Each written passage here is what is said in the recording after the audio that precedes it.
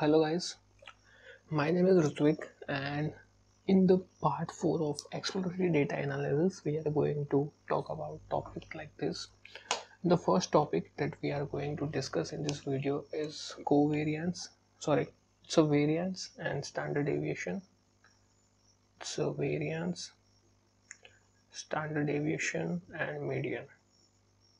So this is the first topic that we are discussing in this video so what is a variance means right? And how does it is useful? So probably you know how to calculate the variance. So you need to calculate the mean of a column. Suppose we have a column called sepal length right? Sepal length is a column which contain continuous numerical variables numerical value right? Value. And I want to calculate the variance of this particular column. So I have values in this column like this 6.8 I roughly write 7.2 6.5 7.75 7.7 etc so here I'm going to first calculate the mean of the values. So if you do not know how to calculate the mean so it's very easy to perform addition between all these variables and, div and divide the whole addition by, by number of element that particular array that particular list contain right? So let me do this to do this for you. So suppose I want to calculate a mean for sepal length. So here here we have a list called sepal length list in which we have some values like this 4.3 4.4 so now I want to calculate the sum of this. Here I got attribute error. So I need to write like this. Sepal length list. Right. Whatever value I got here I need to divide by the length of sepal length list. So I got 5.84 now if I want to check this value then how can I check df dot sepal length? Okay. Okay. This is the same thing.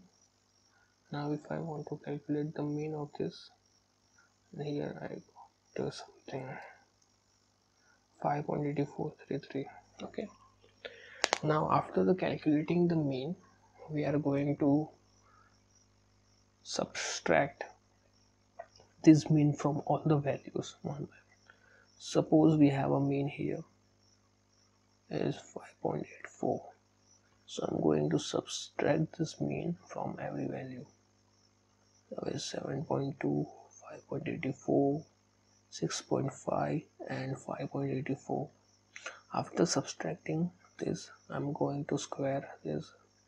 And uh, whatever value we get it is called as a variance right? After okay I need to after squaring this I need to calculate the addition and divide by the whole addition is the number of elements. So here you can get the same thing by just calculating to variance suppose I don't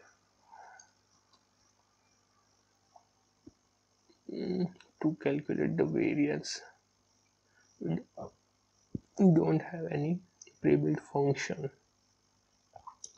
right? So you can calculate the std and whatever value you got you need to just square. To square we have np.square square function. With the help of this function you can square any value number. So it is so the variance is 0.68 and the standard deviation here we got his sepal. So sepal length dot std okay 0.82 so this is the way you can implement the standard deviation mean and uh, np dot sorry standard deviation mean and variance. Now if you want to calculate the median value how you can calculate? Suppose we have a function it's yeah median. It's a 5.8 so now it's time to tell you that why we what is the need to use all such things in data science right? Suppose you are working with data set and you are trying to solve a problem of classification right? So whenever you when, whenever you try to solve a classification problem at that time you need to keep in mind that you need to separate the data first right? So as we can see here as we can see in our EDA part that we are trying to separate the setosa flower from versicolor and virginica. Right? Also we do the same thing for two right? So as far as our data or our class is separate from others that is very good for us because our model will accurate for them. So if my if this is the case like uh, we have a separate setosa class but there are some merger data point between versicolor and virginica right and if we create a model on that on this then our model will be much more accurate to predict setosa flower instead of and in this case model will not accurate right? There is some possibility or there is some error that happen whenever we try to predict versicolor and virginica right? Because in this case our data point is misclassified and because of the merger. So we need to understand that how our data is well separated. That's why we have a variance and standard deviation we use right? So basically standard deviation is a numerical value. With the help of this numerical value you can easily identify that it at which standard deviation after the which standard deviation you can consider a particular data point as an outlier. So probably i talk about in my previous video talk about a Gaussian distribution in my previous video right? So Gaussian distribution has a rule called 68 95.4 and 97.3 so in the first deviation right so this is the Gaussian distribution look like. So in the first deviation it cover 68 points. So a particular column if a particular column follow the Gaussian distribution so in the first standard deviation it consider 68% of data. In the second in the second standard deviation it consider 95.4% of data and in the third standard deviation consider 97.43% of data. After three standard deviation whatever value we have here is the minus 3 standard deviation here is the plus 3 standard deviation. Whatever value we have it's those value are we those values we are considered as outlier. So we need to remove remove them or we need to perform feature engineering or the feature engineering on the outlier. So we can convert this outlier and this, uh, so we can convert this outlier and be a part of this Gaussian distribution right? Okay. So that's why we use variance and standard deviation right? Apart from that uh, the values of uh, standard deviation is low right? That means it the all the data points are near the mean right? And if the values of standard deviation is high that means data points are near the data points are far from the data points. Data points are far from the mean right. So now the what is the case of mean here? Because you can see this mean as a we have some missing values. Sometimes we have a data set in which we have a lot of missing values to fulfill those missing values. We can fulfill those missing value by inputting a mail a mean okay? So that's why we can use a mean after that we are going to talk about why we use median. Suppose you have a data set of income column right? Data set in which you need to get the income of the employers. So the, there are some employers of reliance company right? Suppose there are some employers of reliance company. Example in this we need to calculate the cdf right? And uh,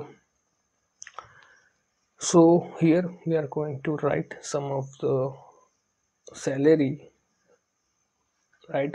Like uh, this 60000 70000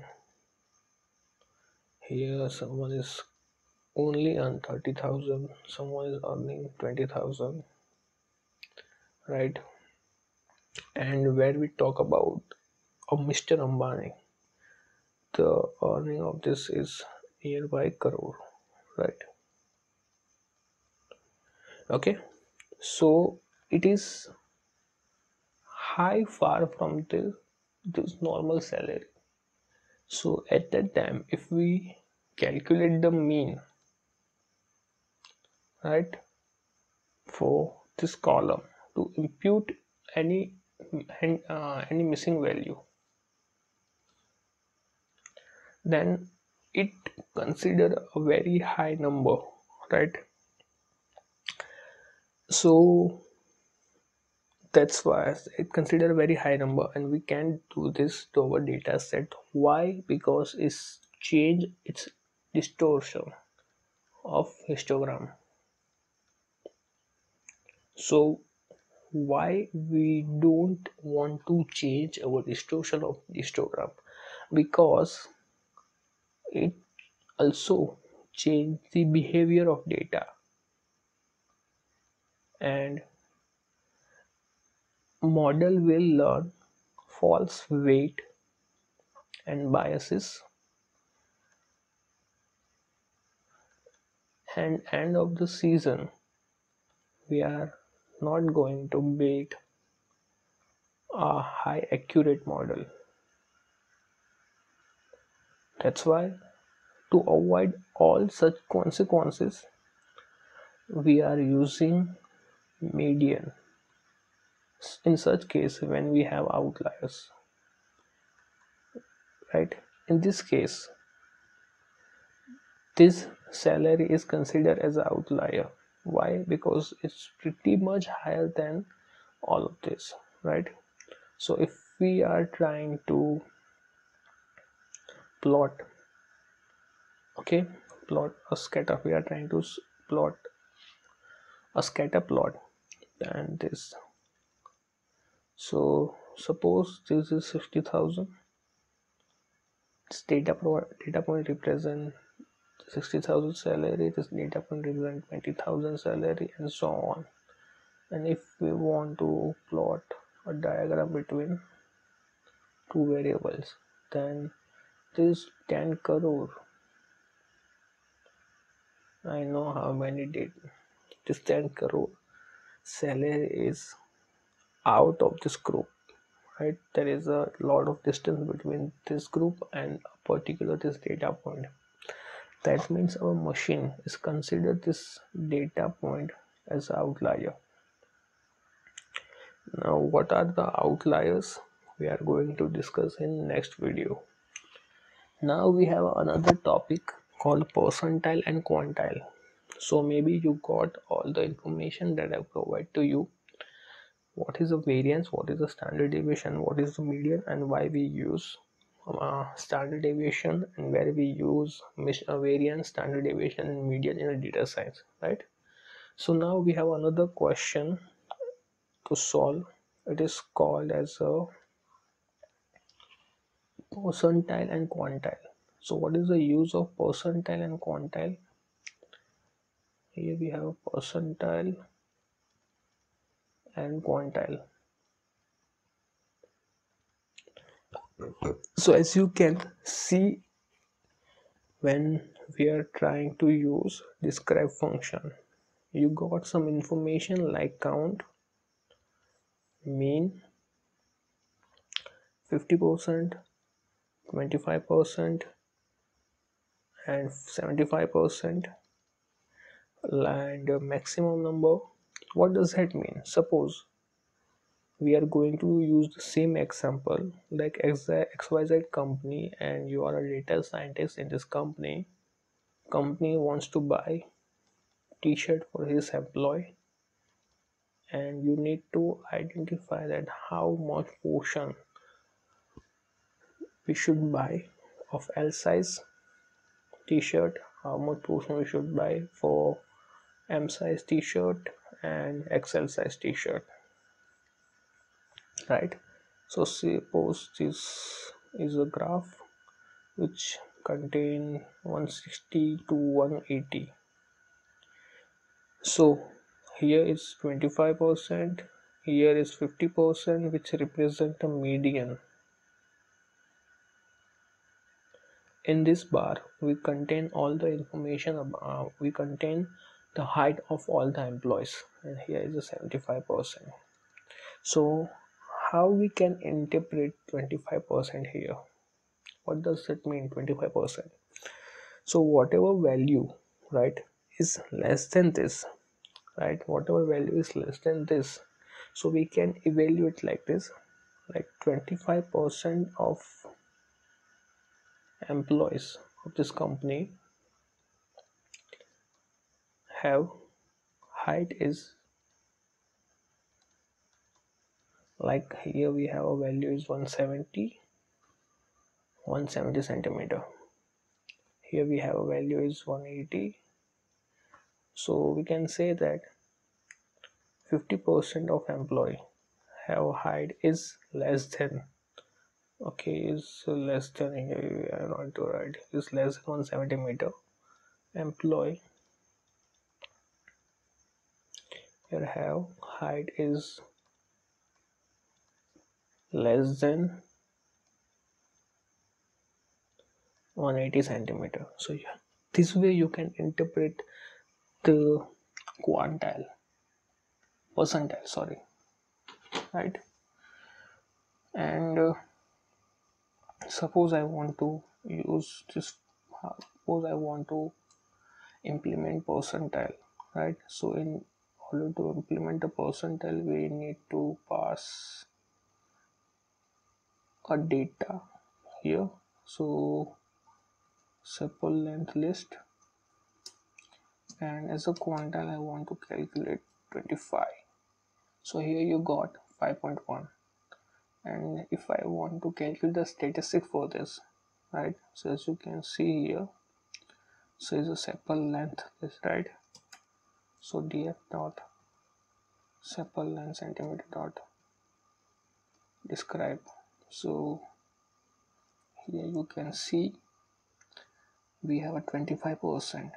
So how we can interpret this? If you want to interpret this then this way you can interpret. 25% of flowers have sepal length is less than 5.1 centimeter.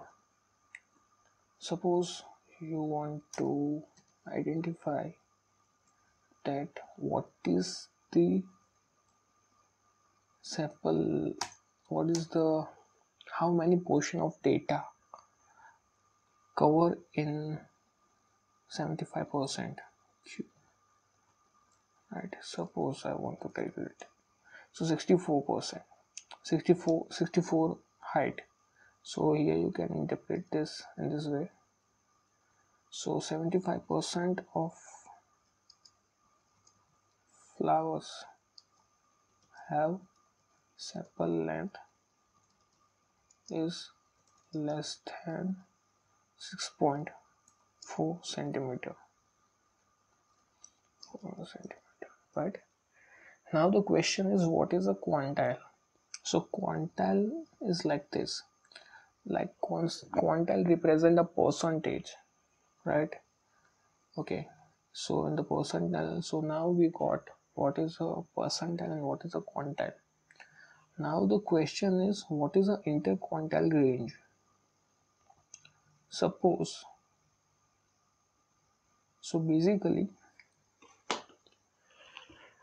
when we use describe function we have statistics called mean 25 percentile 50 percentile 75 percentile and uh, max. So here this one is represented as q1 and this one is represented as q3 and if we calculate q3 minus q1 whatever range we will get here it is an interquantile range iqr interquantile range.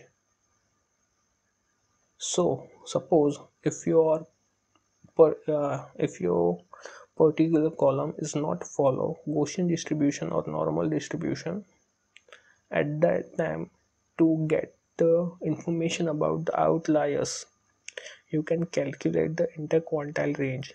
Whatever data is not below sorry it is not lie between the range whatever get we will whatever we will get from the IQR then we can consider those as an outlier. We can consider those data point as an outlier. If those data point is not follow in the range of IQR right? Okay. So how can we calculate that a particular data point is outlier or not? So suppose 6.4 minus 5.1 here we get 1.3 so below range is 1.3 and if I want to 6.4 plus upper range is 5.1 this is a below range and this is for upper range upper range. If a particular data point is a particular data point has a sepal length is less than 1.3 right? So just let me put it in this way. Iq1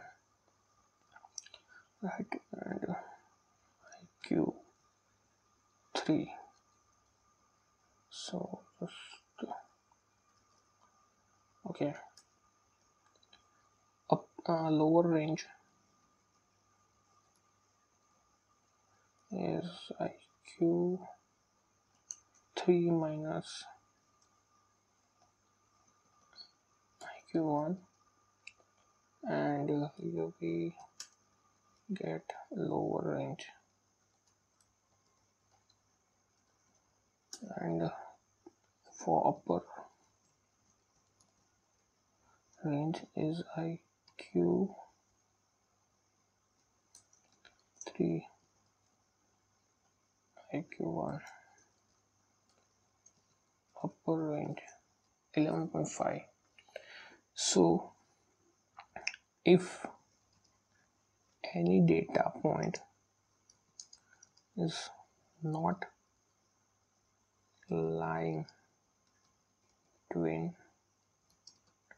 11 sorry between 1.3 and 11.5 then you can consider that as outlier right? Okay so probably you know that why we use variance standard deviation percentile and quantile. And here you know that what is the interquartile range. You can you use all this to get the information of outliers now we are going to plot a box plot right? So basically it is also box plot is also give us that how our data is well separated.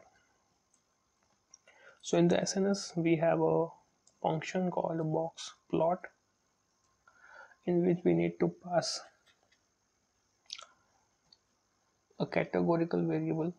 So x species and in a y we need to pass a continuous variable.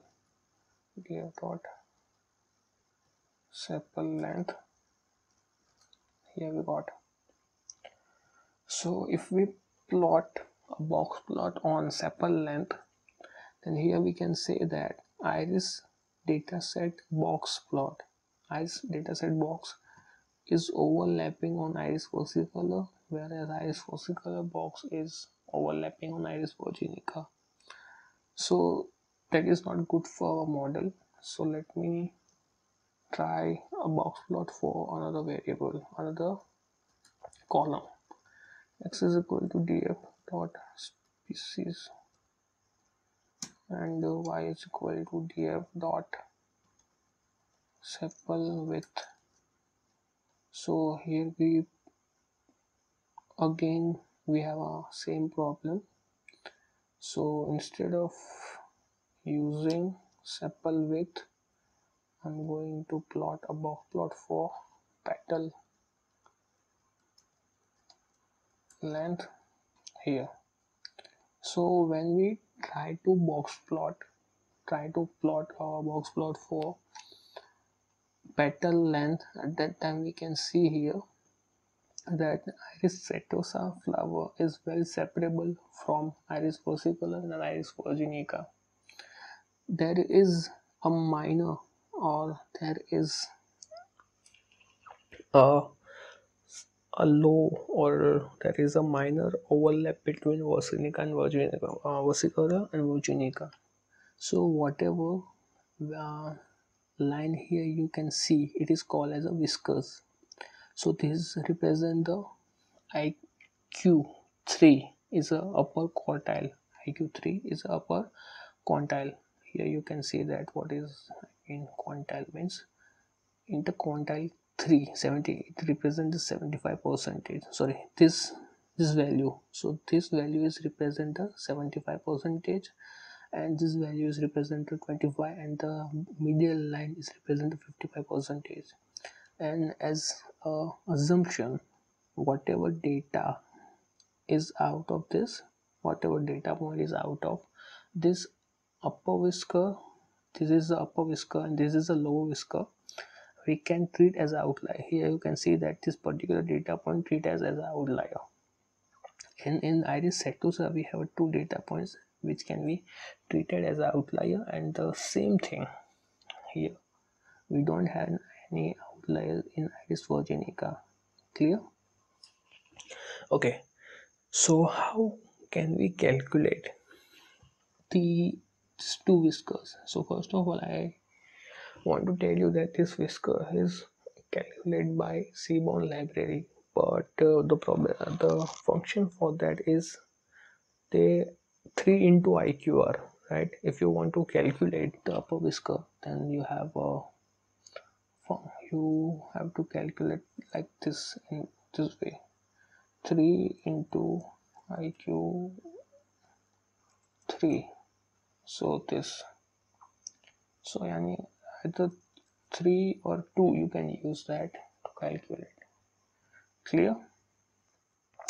Okay. So in this way you can plot a box plot. Now we are trying to plot a violin. Plot in the seaborn library. So plot a violin plot I need to access df dot species where y is the same thing. Df dot vector length here you can see. So we have a same thing like here we can see that most of the data points if the violin right like this is a fact that means most of the data points are near to the mean value or median value. Here you can see that if this is not so far fat then we can say that here most of the data points. Here you can see that most of the data points are not near to the median value right? So you can, if you want to see that a particular data points most of the data points are near to the median or not at that time you can use this violin plot. So that's all. That's all for now. Thank you for watching